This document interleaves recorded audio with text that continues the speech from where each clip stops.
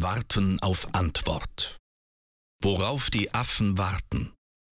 Warten auf Bojangles. Warten aufs Leben. Warten auf Godot. Und worauf warten Sie? Heute bestellen, morgen lesen. Morava.at, die österreichische Online-Buchhandlung.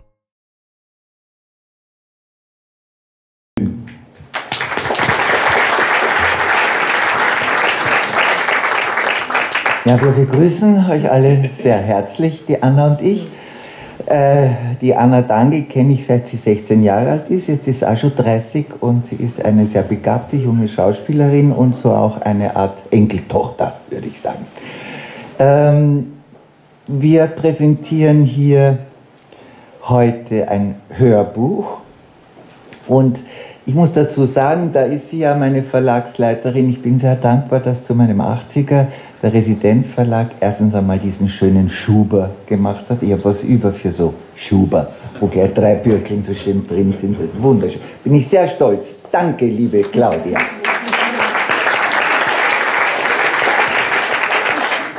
Und den Roman Gegenüber, den haben wir als Hörbuch aufgenommen handelt ja davon, dass eine 80-jährige Frau, wie ich begonnen habe, das Buch zu schreiben, war ich noch nicht 80, aber es kam auf mich zu und ihre Nachbarin gegenüber, eine junge Frau, dass die zwei in ein Gespräch geraten. Das ist eigentlich so in groben Zügen gesagt Inhalt äh, dieses Buches. Und wir haben das äh, von zwei wunderbar aufmerksamen Menschen begleitet aufgenommen. Ich möchte da sagen, wo ist, ist der Robin da? Ja. Der Tonmeister Robin Gillard hat das wirklich in meiner Küche zu Hause, um, um, diese Atmosphäre der Nähe und des Häuslichseins. Also wir zwar sind gesessen, so in meiner kleinen Küche und nebenan und Regie geführt hat die Frau Isabella Suppans, die auch da ist.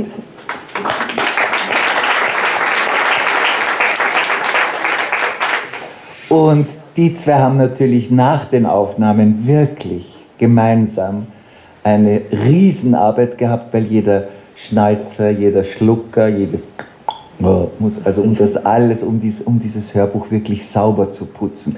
Wenn man das, es ist äh, eine, wie heißt diese CD? MP3? MP3. MP3. Aber es dauert über sieben Stunden, das ganze Hörbuch. Also man kann eine lange Autofahrt vielleicht sich auf diese Weise würzen. Und ähm, ich glaube, somit habe ich alles gesagt, was dazu gehört. Und wir haben uns zwei Szenen vorgenommen vorzulesen. Es ist ein bisschen so, ich habe sowohl den Part der Erzählerin als auch der Gedanken, als auch des Dialoges. Also wir haben uns das wunderbar eingestrichen. Kann sein, dass hier jetzt in der Spontanität das vielleicht ja. nicht passt. Also wir fangen, wir fangen jetzt auf Seite 61 an, Anna. Ja? Und ich fange an mit einem Klingelton, der nicht erfolgt. Also, ihr müsst euch vorstellen, es hat geklingelt an der Wohnungstür. Du liebe Zeit. Das ist der angekündigte Besuch von Linda Krutisch. Sie wollte ja gegen Abend noch einmal vorbeikommen. Und ich hatte eigentlich vor, ihr nicht mehr zu öffnen. Was mache ich jetzt? Naja, Sowieso müsste ich aufstehen, warum also nicht dieses nervtötende Klingeln beenden, indem ich zur Tür gehe und der besorgten Linda sage, dass mir nichts mehr fehlt. dass mir nichts mehr fehlt. Was für ein Satz. Alles fehlt. Das Leben fehlt. Aufspringen, laufen, Umarmungen, Atem, Wärme, ein anderer Körper, eine andere Haut, Ideen, Elan und vor allem Freude. All das fehlt. Ich tappe jetzt langsam von den Ängsten eines Traumes gerädert durch eine einsame Wohnung und werde einer mildtätigen Nachbarin die Tür öffnen. Endlich! Ich läuft schon so lang. Geht's Ihnen wieder schlecht? Fehlt Ihnen wieder was? Nein, mir fehlt nichts mehr, Linda bin am Sofa eingeschlafen, mein Nachmittagsschlaf. Es ist aber schon Abend. Ich habe ehrlich nicht geahnt, dass Egal, egal, schlafen kann jemand wie ich ja zu jeder Zeit und immer. Darf ich hereinkommen? Ich habe Ihnen nämlich etwas Gutes mitgebracht. Bitte nicht. Nicht hereinkommen und mir nichts Gutes mitbringen. Was denn? Linsensuppe. Darf ich? Ich habe heute dem Helmut Linsensuppe gemacht. Die mag er und ich mache sie trotzdem selten, weil es umständlich ist. Das Rezept ist nämlich sehr speziell von seiner Großmutter. Man braucht allerhand Kräuter dazu und Gewürze, seltene, die muss ich dann am Markt finden. Auch eine besondere Wurst gehört hinein, eine aus Pferdefleisch. Aber angeblich weckt die Suppe Tote auf, sagt man. Also, das meine ich jetzt nicht so. Warum nicht? Da Sie mich heute sowieso schon von den Toten erweckt haben, soll Ihre Suppe ruhig weitermachen. Also so arg war es bei Ihnen wirklich noch nicht. Ja, es kann alles noch werden. Jetzt hören Sie aber auf. Sie haben ein schönes Gewand an. Sieht man selten so ein schönes weites Hausgewand. Wo haben Sie das gekauft?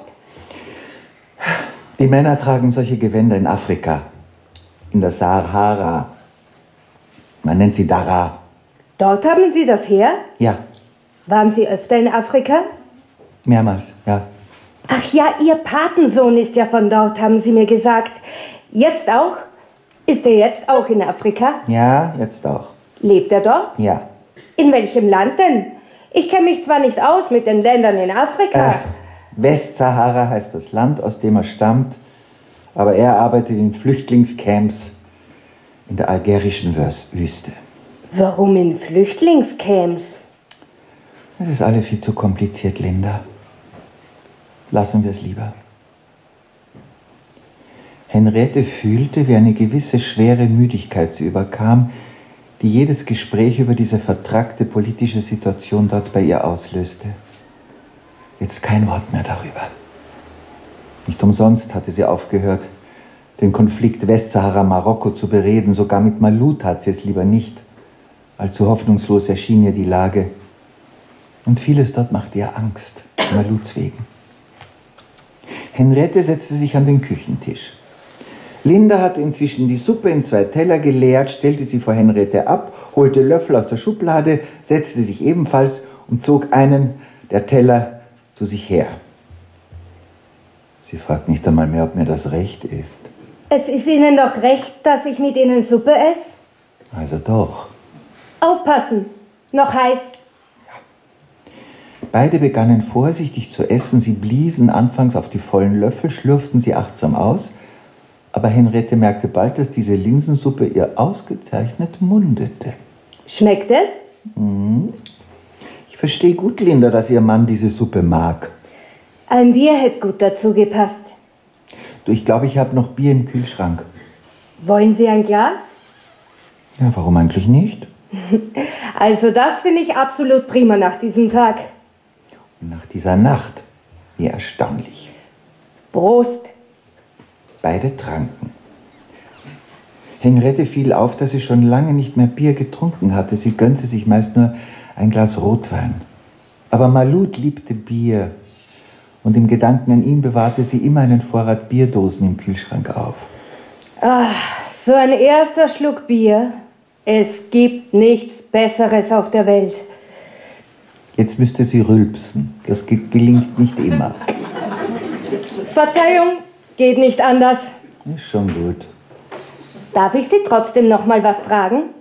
Was denn? Bitte jetzt nicht nach den Camps. Die Sache mit den Flüchtlingscamps. Muss das sein? Ja, gar nichts muss. Nur, wieso ist Ihr Patensohn bei Flüchtlingen in der Wüste und nicht hier bei Ihnen? Das wäre meine Frage gewesen, aber wenn Sie lieber nicht. Schauen Sie, Linda.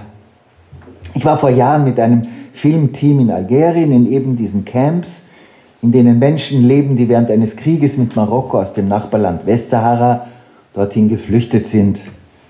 Ich habe Malut als kleinen Jungen kennengelernt, als er gerade seine Großmutter verloren hatte.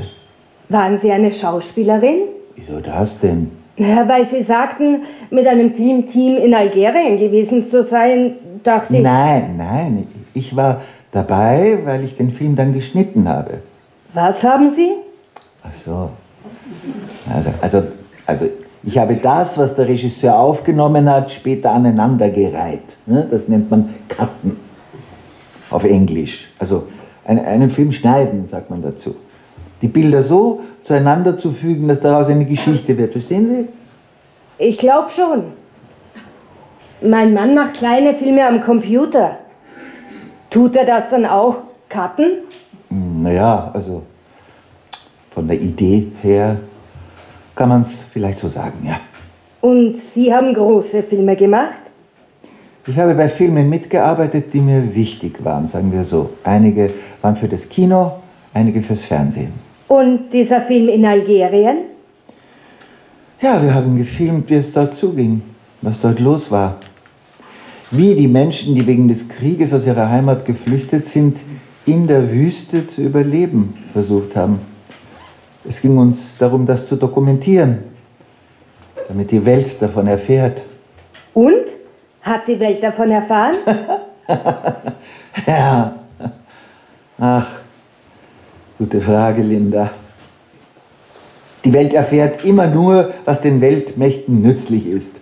Und dieser Krieg, dieses besetzte Land, diese Menschen in der Wüste, das interessiert auch die Medien nicht. Vor allem nicht in unserer Zeit der weltweiten Völkerwanderungen und Flüchtlingsbewegungen. Es bringt niemandem etwas, sich gegen Marokko zu empören, es anzuprangern. Europa will sich mit dem König dort nicht verderben und man fährt doch so gern auf Urlaub hin. Ja, Sie werden bei dem Thema ja richtig zornig, Frau Lauber. Ja, weil ich lange nicht mehr darüber gesprochen habe. Mir gefällt, wenn Menschen wegen irgendetwas zornig werden. Die meisten wollen bei allem nur ihre Ruhe haben. Auch junge Leute. Mein Mann hat jüngere Freunde, die wollen sich möglichst über gar nichts aufregen. Die wollen von Politik nichts wissen, von der Welt nichts wissen. Die wollen nur zum Urlaub in die Karibik oder Ayurveda machen in Indien. Die denken überhaupt nur ans Essen, Trinken und Urlaub machen. Ja, und dann ärgern sie sich über, über Fremde bei uns hier, in deren Länder sie aber gern All-Inklusiv-Hotels buchen. Ja, und in letzter Zeit lästern sie natürlich vor allem über die Flüchtlinge. Wie kommt man dazu, sagen sie? Die vielen Ausländer, ja. Das ist es vielleicht gerade noch, worüber Sie sich ab und zu aufregen. Und Sie? Linda, warum haben Sie diesen kritischen Blick auf Ihre Freunde das und anscheinend ganz andere Ideen? Das frage ich mich auch manchmal. Aber vielleicht wegen meiner ersten Chefin. Vielleicht ist die dran schuld. Ich habe in ihrem Salon als Lehrling gearbeitet. Salon Annabelle hat er geheißen und es hat mir gut gefallen dort. Die Chefin hat aber dann den Friseurladen von heute auf morgen aufgegeben. Nur weil sie gewisse pingelige Frauen, Weiber hat sie immer gesagt, angeblich nicht mehr ausgehalten hat. Was haben die in ihrem kostspieligen Schädel, hat sie geschimpft. Nur Müll. Ich will mit den Haaren auf solchen Strohköpfen auch nichts mehr zu tun haben. Gut, deine Chefin, ja.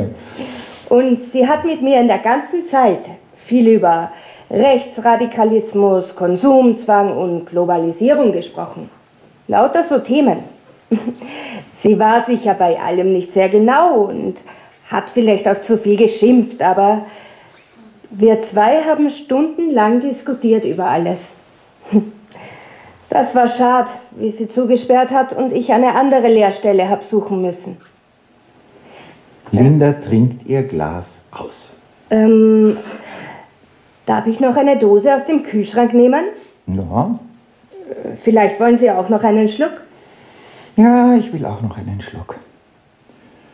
Linda holte das Bier und goss die Gläser voll. Beide Frauen tranken. Sie blieb, blieben in Gedanken. Es wurde still am Tisch. Aber Ihr Patensohn, warum ist der in den Camps? Äh, entschuldigen Sie, ich will ja nicht neugierig sein. Aber Sie sind es. Ja, ich gebe es zu. Also gut. Malut ist jetzt ein erwachsener Mann. Er arbeitet für die Exilregierung, ist dort so etwas ähnliches wie, ja, wie bei uns vielleicht ein Abgeordneter.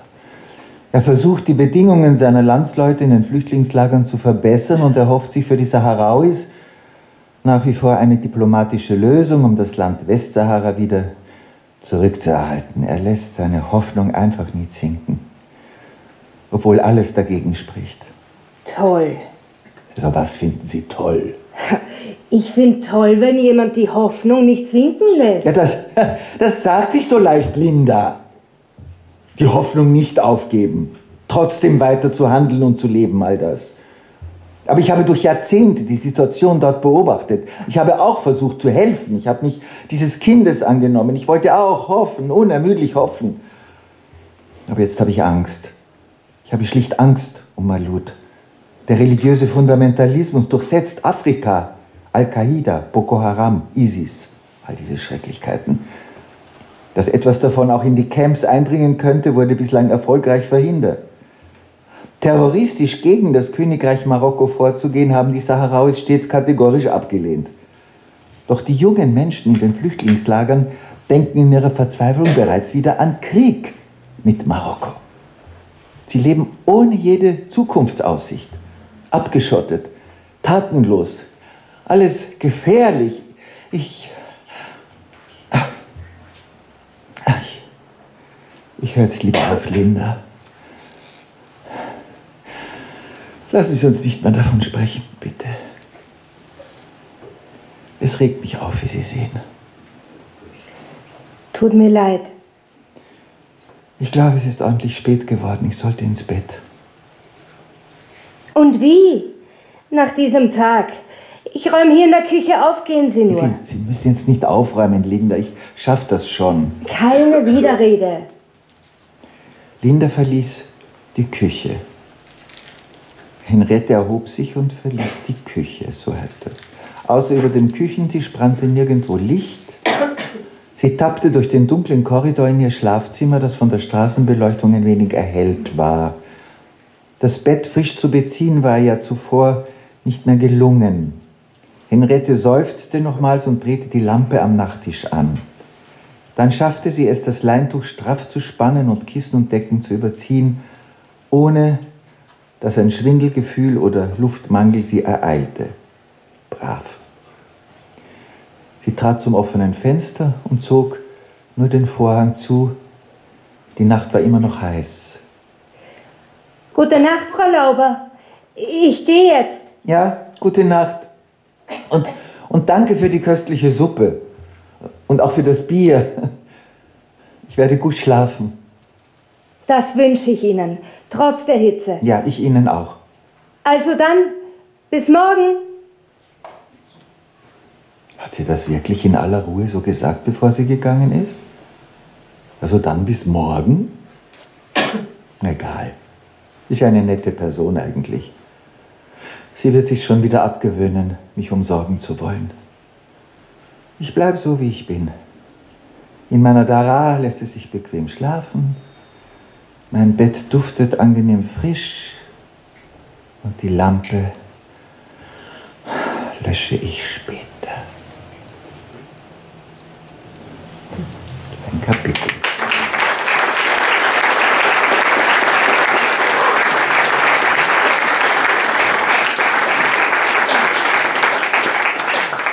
Also diese Linda bleibt beharrlich. Sie hat sich ja, das Buch beginnt damit, dass äh, Henriette wirklich einen Zusammenbruch hat, aber es kommt auch ein Gewitter und das Fenster klappert und diese junge Frau kommt und pumpert und sagt, was ist denn da los? Und fängt jetzt einfach an, sich um ihre alte Nachbarin zu kümmern, was der zu Beginn, wie man gemerkt hat, eher, sie lebt allein, sie ist 80, sie will selbstständig sein. Wir wollen ja alle, solange wir können, selbstständig sein, sage ich da mit meinen 80 Jahren. Ja? Oder?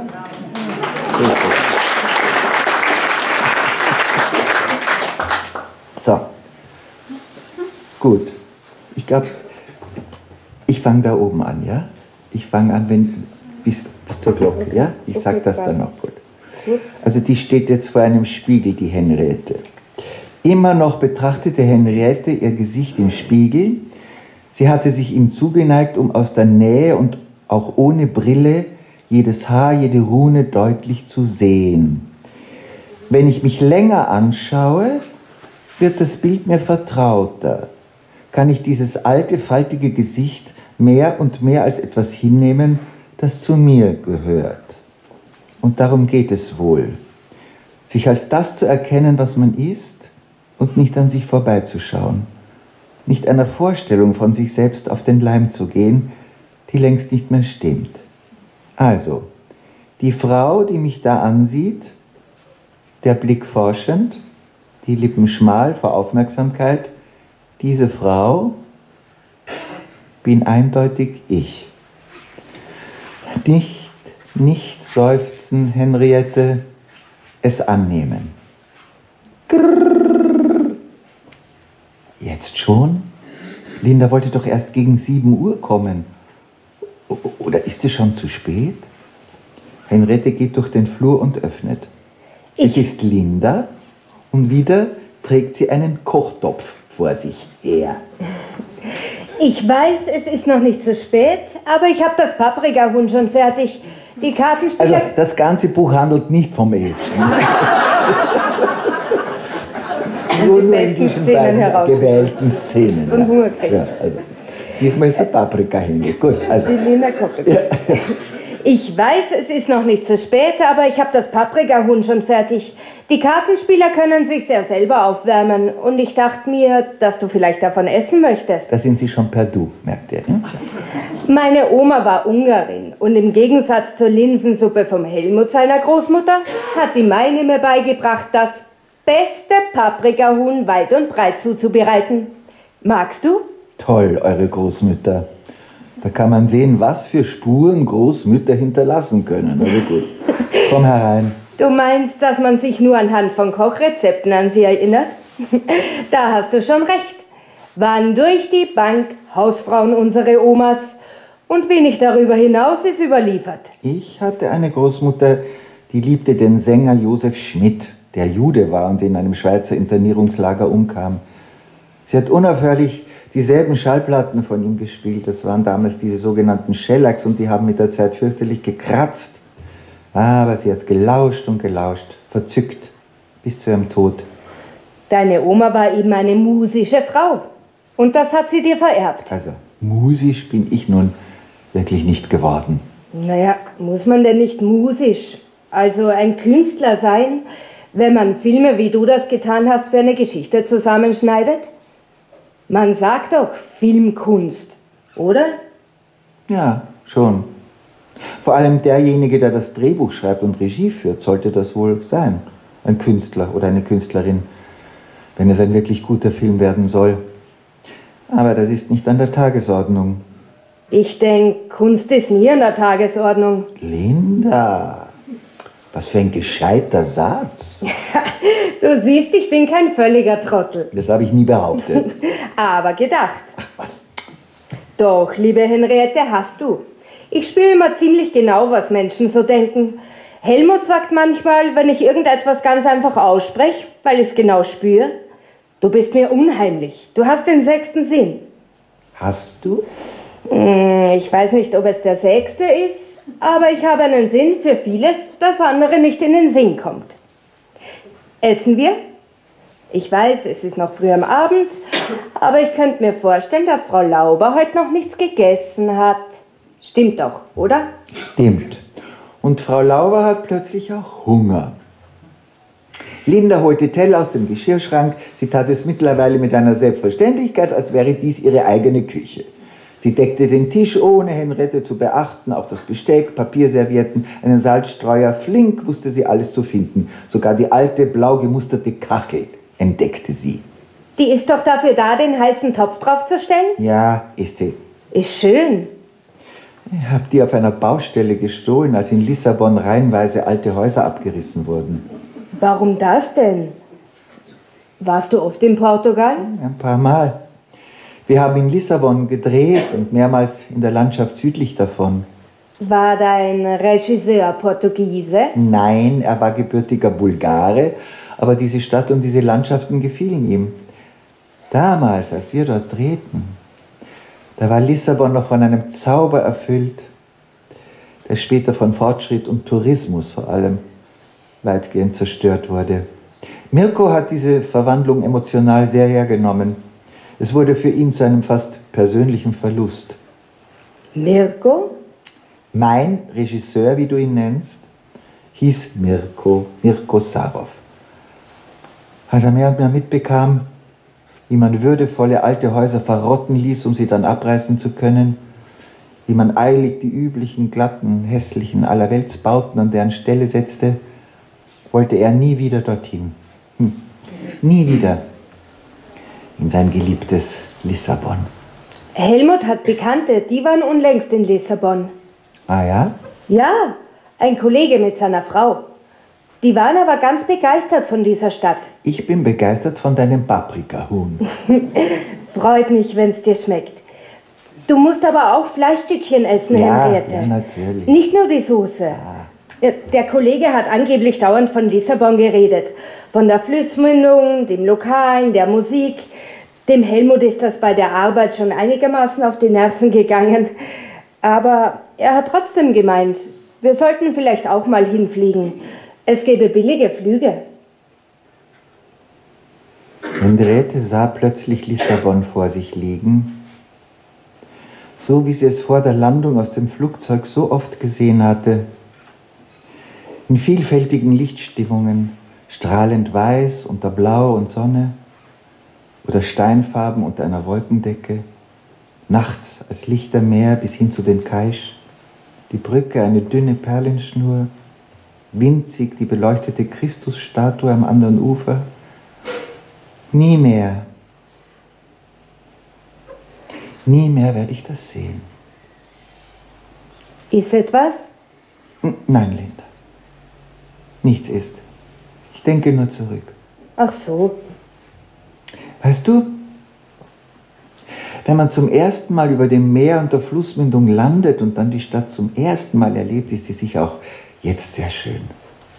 Nur, wenn sich verändert hat, was man kannte und liebte, dann tut einem das weh. Weiß Gott ist das so. Dort, wo ich als Kind auf Urlaub war, ist auch alles anders geworden. Da waren wir damals jeden Sommer auf einem Bauernhof. Wunderschön, sag ich dir. Rundherum Wiesen und Obstbäume. Die Stube habe ich so gern gehabt. Mit dem alten Tisch und den Bänken. Es hat so gut gerochen nach Herdfeuer, nach gebratenem Speck oder nach Milchreis mit Zimt. Ich habe das alles, so wie du vorhin gesagt hast, gekannt und geliebt. Jetzt aber steht dort so ein beschissenes Wellnessresort mit Spa oder wie man den Blödsinn nennt. Ein Hotelkasten, eine riesige Anlage. Ich war nur einmal dort und musste, musste weinen. Nie wieder fahre ich in dieser Gegend. Tja, das verstehe ich mehr als gut. Aber du bist noch jung, Linda, und wirst dir all das, was unsere Zivilisation in Eile neu entwirft, problemlos vertraut machen können. Wenn man aber so alt geworden ist wie ich, da bleibt man am besten zu Hause, wenn man dem Verändern von Vertrautem nicht mehr zusehen kann oder will. Klar, klar, ich weiß, zu allen Zeiten hat sich alles verändert. Ohne Veränderung keine Weiterentwicklung, ist mir ja alles klar. Aber die Schnelligkeit, die Rasanz, mit der sich in den letzten Jahrzehnten Gegebenheiten und Lebensbedingungen des Menschen gewandelt haben, da komme ich einfach nicht mehr mit.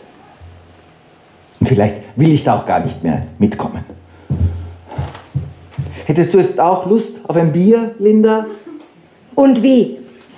Linda sprang auf, deutete Henriette sitzen zu bleiben, holte Bier aus dem Kühlschrank, Gläser, öffnete mit lautem Zischen eine Dose, goss ein, reichte Henriette das Glas, hob das ihre Prost! Auf das Leben. Schön, dass du auf das Leben getrunken hast. Auf was sonst? Wir haben nur das Leben. Naja, aber es gibt doch auch. Ver vertraut oder verändert, alt oder neu, ob man mitmacht oder nicht, wie immer man seine Schritte setzt, Linda. Wir haben nur das Leben. Und wie siehst du das mit dem lieben Gott? Also von lieb kann nicht die Rede sein, Linda. Und einen Gott sehe ich auch nirgendwo. Aber fehlt dir das nicht? An Gott zu glauben? Nein, fehlt mir nicht. Ich bin Agnostiker. Was bist du? Agnostiker. Ein Agnostiker glaubt an keinen Gott und an kein Jenseits, so wie die Religionen es uns vorgeben. Er schließt aber auch nichts aus. Simpel gesagt, wir werden es schon sehen. Oder eben eher nicht. Ja, und damit kannst du leben, Frau Lauber? So ohne feste Hoffnung? Ohne Trost? Mein Gott, wie rührend und voll des Mitgefühls sie sich zu mir herbeugt mit großen, traurigen Augen und ich tue ihr furchtbar leid, die arme Linda. Ich weiß, wie schwer es ist, sich von einem Gottesbild zu lösen und das zu glauben man von Kindheit an eingebläut bekam. Bist du katholisch, Linda? Hm, ich gehe nicht oft in die Kirche, aber ja, schon. Ich muss einfach dran glauben, dass da noch etwas ist nach diesem Leben. Also ein Gott, ob jetzt lieb oder nicht, aber einer, der einen erwartet und alles gut macht. Ich brauche das. Ja. Wir Menschen glauben, dass wir das brauchen, weil unser Leben letztlich eine Zumutung ist. Ja, aber doch nicht nur, Henriette. Doch nicht nur eine Zumutung. Überleg mal, Linda, da kommen wir auf die Welt und das Einzige, wovon wir bald mit tödlicher Sicherheit wissen, ist das Faktum, dass wir sie irgendwann wieder verlassen müssen. Nun steckt im Begriff Zumutung jedoch das Wort Mut. Es braucht eine Menge Mut, Mensch zu sein. Und eigentlich sind wir alle viel mutiger, als es den Anschein hat. Einfach, weil wir alle versuchen, dieses Erdenleben zu meistern. Aber als Hilfe gegen Mutlosigkeit und Furcht wurden eben die Religionen erfunden. Ja, hast du das für dich selbst schon immer so gesehen? Oh nein, ich war ein gläubiges Mädchen, in meinem Fall vom Judentum, all der Emigranten um uns geprägt und davon überzeugt, dass ein ferner Gott alle meine Schritte im Auge hätte. Die Unsicherheiten der Emigration habe ich als Kind eindringlich mitbekommen. Ich suchte göttlichen Schutz. Aber als meine Eltern mit mir aus England wieder hierher zurückkamen, verlor sich das allmählich. Ich hatte im Gymnasium katholische und evangelische Freundinnen. Zu Hause gab man sich freigeistig, ich wurde nicht religiös erzogen. Und bald konnte ich weder mit Jahwe noch mit Christus noch mit Mohammed viel anfangen. Ich ging zur Filmschule und traf dort auf überzeugte Atheisten, genauso wie auf Buddhisten, Marxisten, Existenzialisten, ein kunterbuntes Durcheinander von Religionen und Ideologien. Schließlich klinkte ich mich aus und beschloss, einfach ein Mensch zu sein. Kann man das so einfach beschließen? Man kann es natürlich nicht einfach beschließen und die Sache läuft dann. Aber man kann Schritt für Schritt darauf hinarbeiten. Ja, aber was ist so besonders dran, einfach ein Mensch zu sein?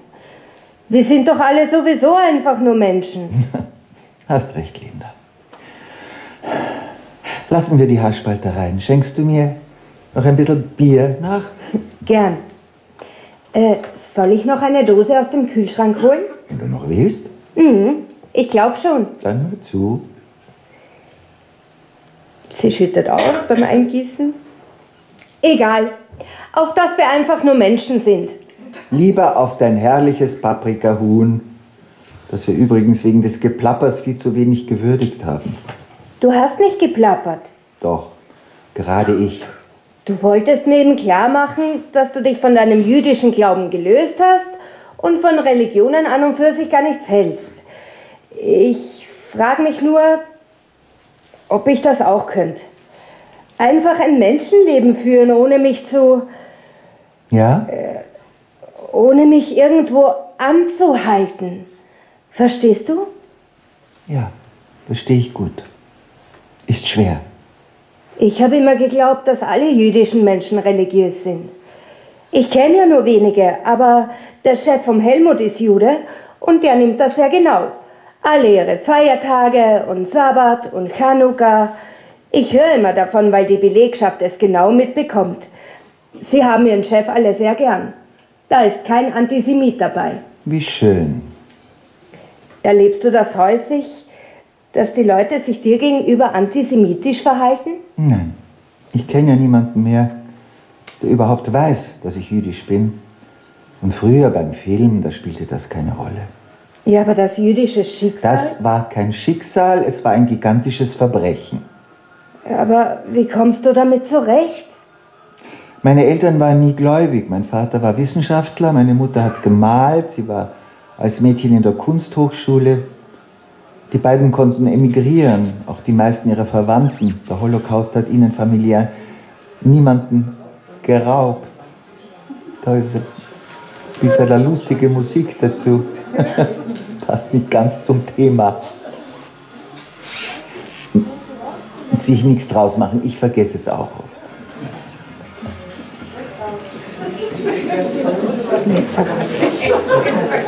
Haben wir's? Also gut. Ich komme zu den Eltern der Henriette zurück. Die beiden konnten emigrieren, auch die meisten ihrer Verwandten. Bitte? Nix. Der Holocaust hat ihnen familiär niemanden geraubt, ihnen jedoch die Lebenskraft gebrochen. Wir kehrten zurück, aber meine Eltern blieben irgendwie ja, fassungslos. Ja. Sie konnten nach allem, was geschehen war, auch sich selbst und ihr eigenes Leben nicht mehr fassen. Aber trotzdem haben sie nie in religiöser Geborgenheit Zuflucht gesucht. Sie blieben überzeugte Atheisten und Einzelgänger, hielten sich auch von Aktivitäten der hiesigen jüdischen Gemeinde weitgehend fern. Sie hielten nur aneinander fest und das bis zu ihrem Tod. Und wie radikal sie das taten.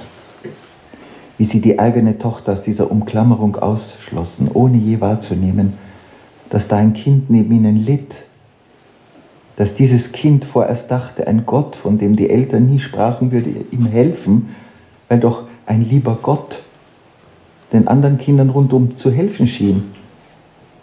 Und wie dieses Kind später erwachsen werdend die Erfindung Gott abstreifte und sich den Erfindungen des Kinos verschrieb.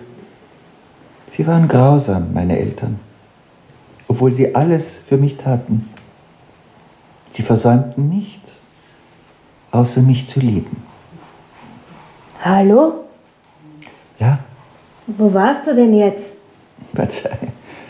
Noch bei meinen Eltern. Verstehe ich.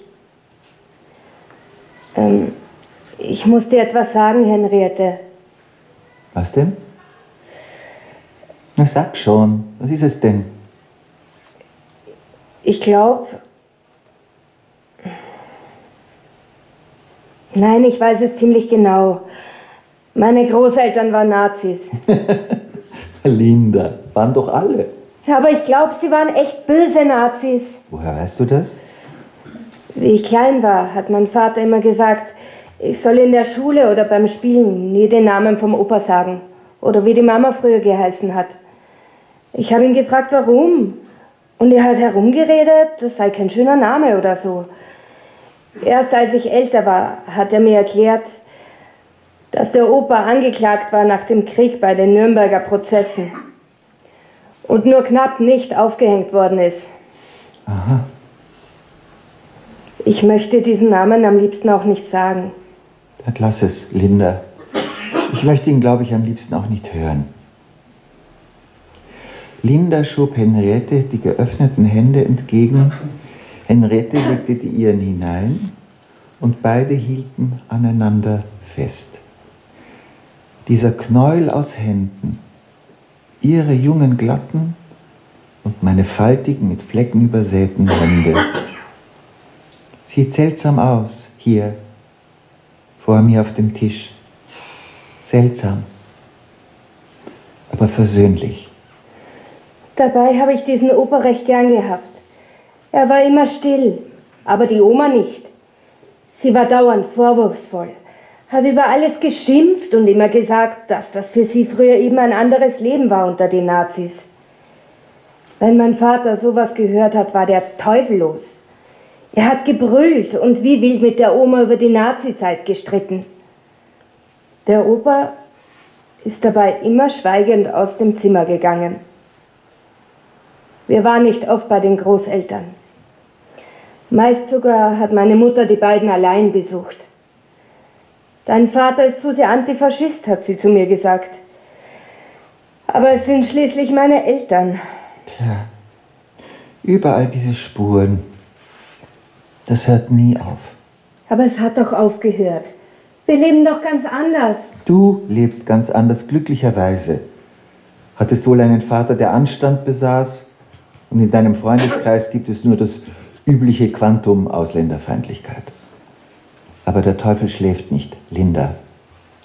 Im verblödeten Wohlstandsbürgertum ebenso wie weltweit in Armut und Unbildung lauert er. Der Teufel, Henriette? Das sagst du? Na, als Bild, Linda, nur als Bild. Um nicht ausholen zu müssen. Schenkst du uns noch Bier nach? Gute Idee. Auf uns. Auf uns. Also gut, auf uns.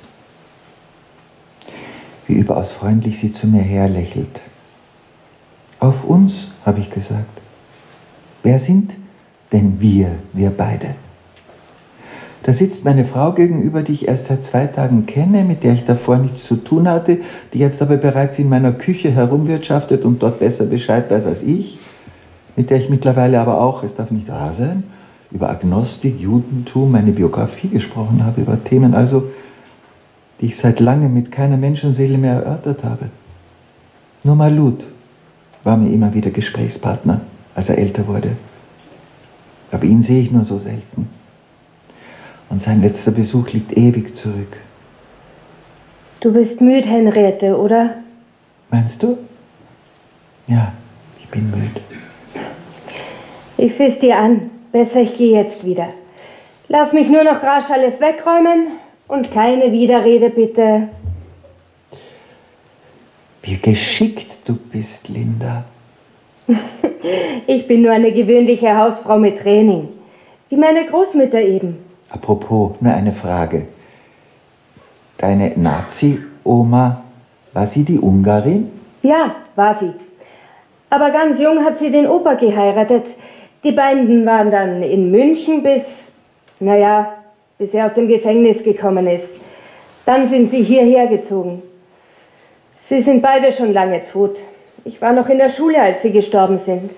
Und trotzdem kannst du dieses prima Paprikahuhn zubereiten? Natürlich hat meine Mutter das Rezept übernommen. Aber auch ich habe sehr früh kochen gelernt, schon als Kind. Warum das denn? Hm, meine Eltern waren ganztägig bei der Arbeit, ich war nach der Schule allein zu Hause und bald habe ich damit begonnen, abends was zu kochen. Ich habe den Tisch gedeckt und so. Wenn sie gekommen sind, mussten sie sich nur noch die Hände waschen und konnten sich gleich was essen setzen. Sag, haben sie das von dir verlangt? Weiß ich nicht. Das musst du doch wissen. Ja, es war ganz einfach so. Sie haben mich zu nichts gezwungen. Sie war nicht bös oder streng.